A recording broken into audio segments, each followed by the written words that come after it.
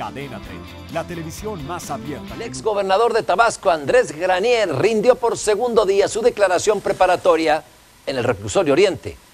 Ahora por el delito de defraudación fiscal que le imputa la PGR, el cual asciende a 2.156.000 pesos. Y se refiere solo al ejercicio fiscal 2009. En la audiencia, el coordinador de agentes del Ministerio Público Federal pidió embargar los bienes de Granier para garantizar la reparación del daño. Por su parte, personal de la Secretaría de Hacienda y Crédito Público solicitó actualizar el monto de lo defraudado.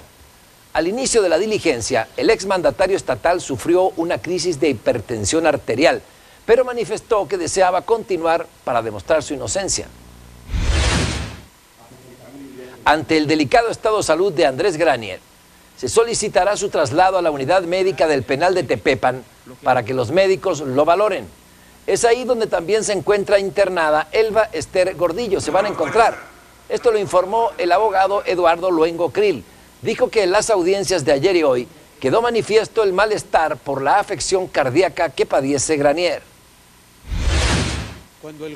Por la mañana, Eduardo Luengo Krill, abogado del exmandatario, aseveró que su cliente corre el riesgo de ser víctima de un linchamiento si lo trasladan a Tabasco, tal como lo solicita el gobernador Arturo Núñez.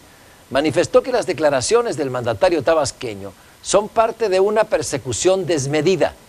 Dijo confiar en la imparcialidad del Poder Judicial Federal para resolver este caso. Suscríbete a nuestro canal de YouTube para que siempre estés informado de las últimas noticias de México y el mundo.